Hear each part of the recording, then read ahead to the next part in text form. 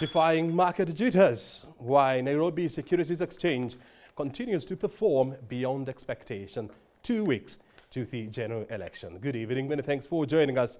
My name is O'Brien Kimani. We're coming to you from the trading floor of Nairobi Securities Exchange. Later on, I'll be talking to Kevin Maina.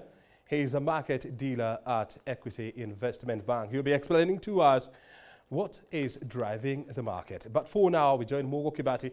He's the Chief Executive Officer of Sanlam Kenya Limited. He'll be explaining to us where the insurance market is going from here. Mugo, thank you very much for joining us. Thank you very much for having me. Thank you. Yes. Uh, almost one year since you rebranded to Sanlam. How has the market um, responded to, to your brand? Oh, I think quite positively, uh, frankly speaking. Uh, the Sanlam brand is a very well-known brand in the corporate world, uh, being as it is the largest financial services uh, company footprint-wise on the continent. Mhm. So in terms of our corporate clients and our corporate partners, uh, they received very positively because it's a brand they know well, a very strong brand, Mhm. and they like the idea of a close association because they know what that portends for them in Mhm. terms of um, the services we offer them. I think for the retail market, uh, it's a bit slower, uh, but we expected that. Uh, it's a bit slower always to sell a new brand, but we're finding that uh, with time and as the months go by, and as they get accustomed to what Sanlam means for them, the brand is growing much stronger, even on the retail side. Mhm. Well, you know, for a company with an asset base of about 100 billion US dollars, you know, coming into a market whereby the, the asset base is actually almost bigger than the entire market, why would you want to come into such a small market when you're such a big player? So just to clarify, uh, and I think uh, thank you for giving me the opportunity, that Sanlam actually has been a shareholder um, for the last uh, 13 um, or so years, uh, but has really preferred to stay in the background. And my view and the view of the board and management uh, at Sanlam Kenya was it was time now to bring to the fore uh, the Sanlam brand. And Mhm. why? Uh, because the market is changing. The market is changing, the Kenyan market Mhm. uh, not just insurance market, but financial services in general. And it's changing the way the economy is changing. Mhm. We're globalizing more. Um, the middle class is growing at a terrific pace. The economy has been growing apace. And you will see that not just Sanlam, but a lot of other big actors and big players Mhm. in the insurance and financial services sector and outside as well, from Europe, from the US, have been coming into the market. Reason being, they all can see that this economy, as a Kenyan economy, as an East African regional economy, Mhm. has tremendous potential going forward. And for this reason, we decided that it was time to bring the Sanlam muscle to the fore. Mhm. And as I said when we were rebranding, it wasn't just a superficial change of name, Mhm. but we want to bring to bear the Sanlam uh, processes, systems of governance, technical expertise, actuarial expertise, um, and, and leverage them on Sanlam Kenya on behalf of our partners, clients, and customers. Mhm. Uh, because I do think uh, that a lot of people can see that in the next five to ten years, this will be quite a deep market. You, you, you, you, you actually put it right. You held about 13% of uh, Pan African Group. Uh, now you hold 56%?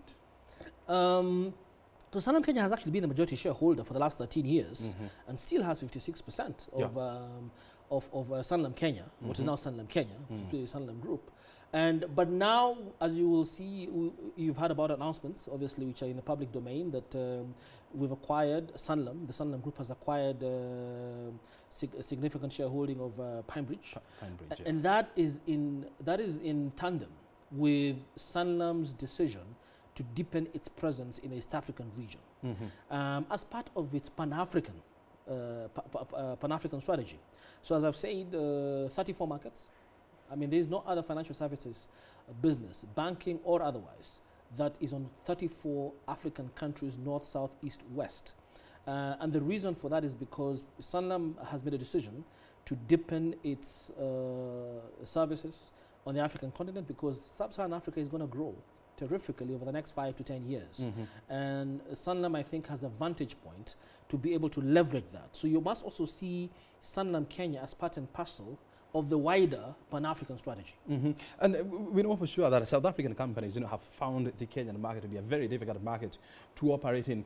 Uh, so how are you going to do things differently? Well, the, the- very good question. And um, and the reason why Sanlam has been successful in being able to expand to 34 markets where others from their country have not is because of the federated strategy that Sanlam undertakes. Sanlam has a clear strategy of choosing partners in local markets, Mm. and they have partners in this local market, in Mhm. Kenya, in Uganda, in all other African markets, and allowing those partners to actually manage, really, and run the company locally, manage the boards locally. So you'll find a very strong local presence on our board, very strong local management team um, running Sanlam Kenya, with the back office and the background and support, governance support, structural support, technical support of the Sanlam Group. So it is a combination of those two that should make it work. You, you, you control about uh, nine, is it nine, nine percent of the Kenyan market? Well, in, in, in life, in life, yes, in life. and business. at about one percent in general, yeah, but growing very fast. growing very I, fast. I, I, dare say we probably are the fastest growing general insurance business in this country today. we need to check facts on Yes. that one. Uh, but I also want to find out. Um, this was actually a drop. Currently, you control about eight percent, which was a drop from nine point eight percent, right?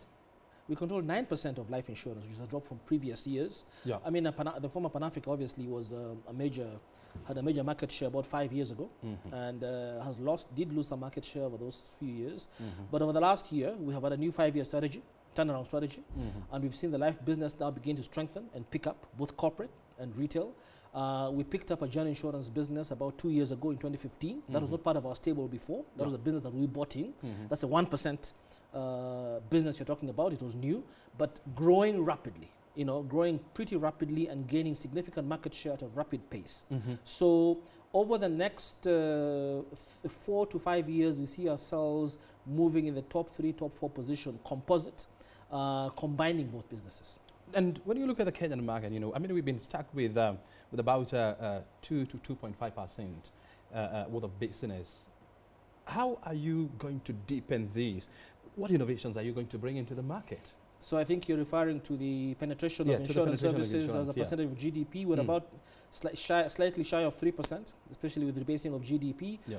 Look, I think that um, it's a combination of many things. Um, the, general, the general economic environment needs to be conducive. You know, the middle class has got to be able to grow. Education needs to uh, to be enhanced, and all these moves are being made. Like, you can see reforms in the education sector, financial services sector, the combination of the financial uh, regulators. Our own regulator in the insurance sector is also bringing in new guidelines, uh, what we call risk-based regime uh, which is supposed to, and I think it will work and we support, um, make bring some rigor into the way insurance companies, both life and general, um, handle their finances, handle policy, uh, the, the policy premiums that they're getting from their clients and customers. Because in the past, there's been a bit of recklessness in the way this has been handled, and Mhm. uh, the insurance sector therefore has received a bad, a bad name. But going forward with the implementation of the risk-based regime, uh, we shall be forced and welcome it to be able to match funds for the promises that we have made to our customers and clients to make sure Mhm. that whether the- you be a general or a life insurance client or customer, we will keep our promises to you and our commitments to you, and the funds that we have in um, in our businesses are available to match the promises we keep. So when you look at all those, that's Mm. the, environment. As Sanlam, we uh, intend to be at the head of that game. Uh, in fact, uh, in terms of governance, I, you know, we, we, we're already uh, far ahead of the game because, and the reason we're able to welcome the risk-based regime is because we already adhere to it anyway as Sanlam, as a group. Um, innovation is going to be critical. We all know what's happening in technology. Uh, I think it's become a cliche to say that we shall be disrupted. It's an obvious thing. Uh, the challenge, the challenge with disruption and technology is it's not just technology. It's also who is able to understand what the customer really needs and tie that to technology and give the silver bullet solution. Uh, typically, we know that normally comes out of the industry. Uh, we are uh, keenly aware of that. Mm. Uh, but we feel that um, we have to be nimble, we have to be flexible, we have to be alive to the changes around the market, but most importantly, we must be able to receive feedback from our customers, process it, and give them solutions that are really attuned to what they need as opposed to what we think we can deliver. Mhm. You, you- early this year, you were in the news when you called your profit warning, and uh, you did so in a market whereby uh, uh, anything can raise eyebrows. Uh, what actually happened? As I've said before, and I think uh, I think in the last few days have been reports of listed companies that don't follow uh, rules, CMA rules to the letter, such as we do, getting fined. Mhm. We adhere, governance-wise, to CMA regulations to the letter. And it's very clear, when you realize or you have anything to make you believe that uh, your profits may dip below 25% of the previous year, Mhm. you're obligated to inform the market as soon as you find that out, which is what we did. Mm. Uh, conversely, as soon as you find out that maybe that's not going to be the case, you do the same thing. And in both cases, we were closely liaising with the regulators, both Mhm. regu- uh, the CMA and the IRA. Mhm. And so the reason for that happening was, as you, right now, in the last few weeks, there has been new guidelines released uh, by the IRA in terms of uh, the risk-based regime I'm talking about, interest margins, and it has not been clear up to recently exactly what that would be. And then without getting into technical details, Mhm. actuarial details, um, the kind of factors that are applied by the regulator on the policyholder funds that we carry from, for different re- from different revenue streams and different products Mhm. have an impact on the bottom line. And I think the clarity of that has, has emerged over time. And as soon, as soon as that became clear to us, and we knew what our position would be with clarity, then we came back to the market. And I have to say, the market received it quite well. Uh, the fact that we had warned them before, uh, and that we retracted the warning as soon as we had clarity. You used to be a client of, um, of Chase Bank, and we know the situation of Chase Bank as we stand now. How has this impacted your business? Not at all. Um, I think it's important to say that uh, I, I know a lot of financial services have been uh, impacted by Chase Bank. Uh, obviously, when you're in financial services and you uh, with an asset base, asset base as large as ours, uh, it's, we're in many banks. But all, I all I have to say is that uh, the impact of Chase Bank on our particular asset base has been minimal, negligible, I will say. Negligible. Yeah. Uh, Mugo, because we have to wind up. Uh, when you look at the Kenyan market, Uh, what is going to be the catalyst for growth in the mid-term to long term? Um, you mean general, not Yeah. just financial services? Yeah. I- I think that we must continue to have good governance. You know, I, you know, this is topical uh, six weeks to an election, but I think as uh, Dr. Arthur Kamp, uh, the Sanlam economist that we just listened to a few, you know, a few days ago, indicated the strengthening of our institutions remains the most important thing we as Kenyans must continue to do. Over the last 20 years, we have seen tremendous institutional reform in this country, resulting in a new constitution in the year 2010. Um, that constitution w- that completely revolutionized our governance system. But beyond creating new structures of government, but you know, open open government to transparency and accountability.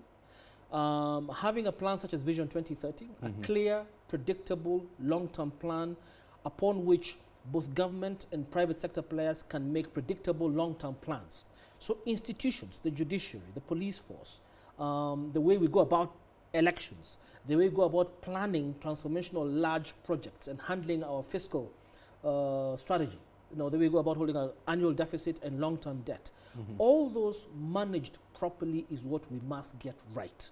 And as long as we get that macro picture right, Mhm. at the micro level, companies such as Sanlam and all the other actors Mhm. uh, in this market will thrive. And we've got a lot of innovative young people, young and old actually, let me say. Mhm. Uh, a lot of companies that are nimble, both local as well as international, that will be, that, that, and I think innovation and technology will be big in Kenya as long as that macro picture is gotten right. Very well. And I also want to hear uh, uh, Mhm. finally from you. Um, so, as players in the market, how are you going to deal with undercutting, which is which is a big challenge actually in the market, and of course the issue of fraud, which is costing your business. Let me talk about undercutting. I think for me, uh, undercutting does not worry me too much. Because what we need to do, I mean, if you divided business, a financial services business, into two levels Mm. retail and corporate. At the corporate level, we already, I think, are there because you're dealing with sophisticated players with large amounts of money. And the question is, are you going for the guy who's undercutting cheap price or the value? The value for service you get for every shilling you pay Mhm. is what counts. And we don't sell cheapest. Sanlam is not going to be the cheapest name around the game. We Mhm. sell value and quality and excellence and keeping the promise. And as long as that's what we do, undercutting doesn't bother me. When it comes to fraud, uh, definitely we have to tighten our governance structures, and which we, which we have done uh, in Sanlam Kenya. But I think we have a great team of uh, employees and staff at Sanlam Kenya who all understand that fraud is not the way to go. Good. Mugo, thank you very much indeed. Thank for you very joining much. Appreciate it. Mugo Kibati is the Chief Executive Officer of Sanlam Group Kenya, joining us here to help us understand what is happening in the insurance industry, and you have heard it from him. This is a trading bell. Stay right here. We are back shortly.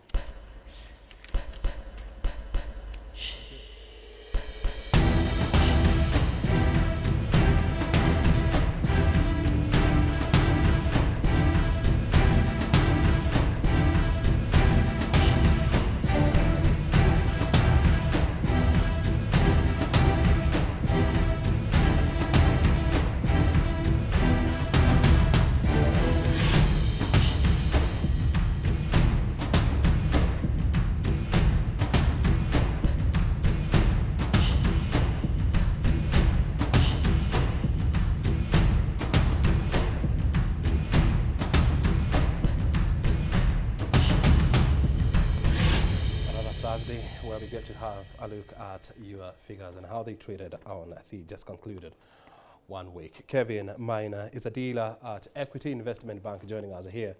Uh, thank you very much indeed, Kevin, for joining us. Now, when you look at all these figures, what conclusions do you make? Um, I'd say it's, it's, it's a much better time uh, compared to, I mean, it's, a it's, it's an election period coming in. And uh, historically, during election uh, run up, we see equities really uh, subsiding and going down. But right now, there's so much investor confidence. We're still seeing foreign inflow. So I think it's, it's a better time, a much better time than we've ever had, Mm-hmm. if I'd say, yeah. Mm-hmm.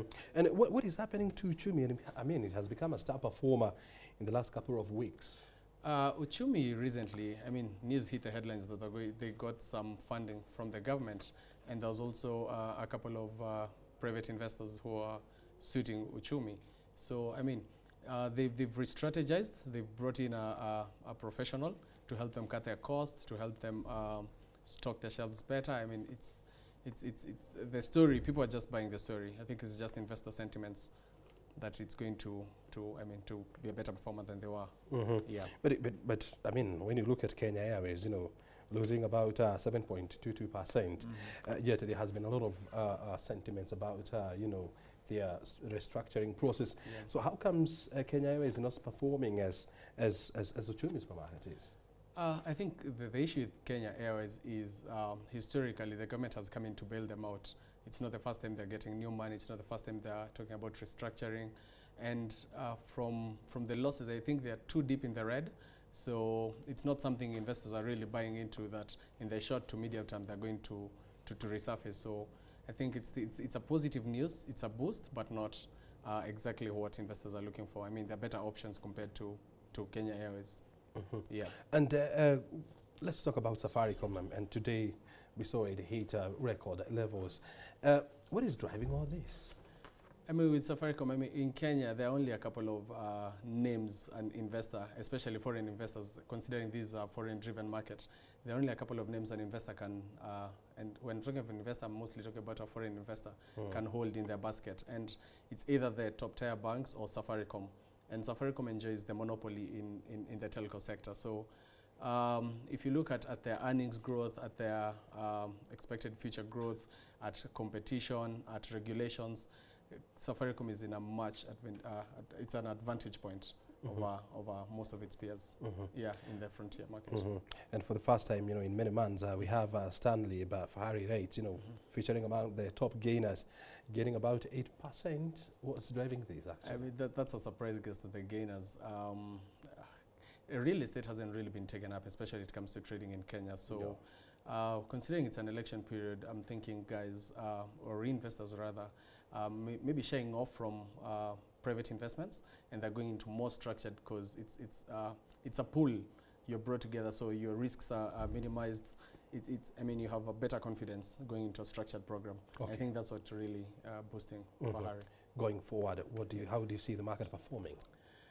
This is a talk that we've been having as brokers, as investments, as foreign uh, with our foreign clients, and like I stated earlier in the show, is uh, during election we us- we usually expect to see a dip, and that has not happened. Pers- with my personal opinion, I don't see it happening now because, um, I mean, like I said, we have all these talks about the banks maybe uh, and and a possible uh, repeal cap, the Mhm. rate cap. Yep. So that's investors are really buying into that sentiment, and that's why we're really seeing all this foreign inflow. Safaricom is is, is always uh, uh, uh, I mean, it's always beating its, its, its previous uh, earnings. So I, I see these, these prices sustaining yeah, in, the, in the short to medium term. All and right. that means even post-election period. Good. Yep. Maina, thank you very much for joining us. You're welcome. Kevin Maina is a market dealer at Equity Investment Bank joining us here on the Trading Bell. Stay right here.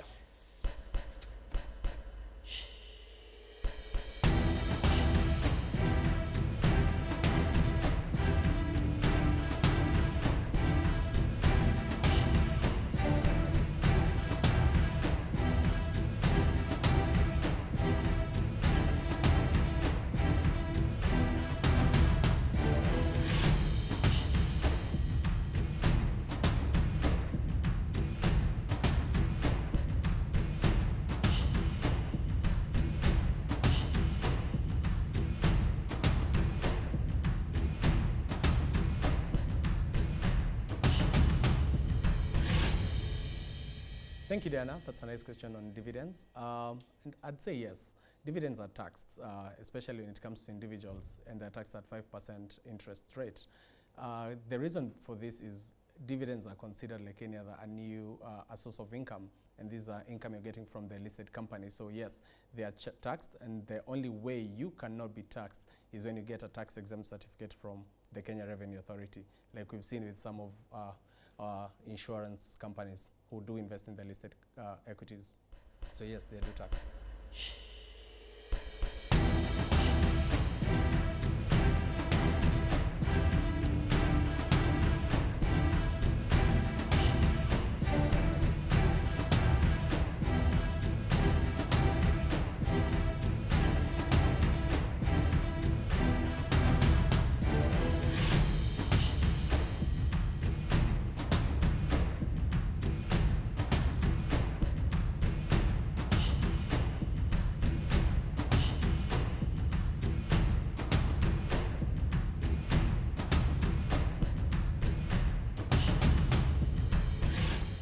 Well, and with that historical perspective of the Nairobi Securities Exchange, we come to the end of the Trading Bell program for today. Many thanks indeed for your company.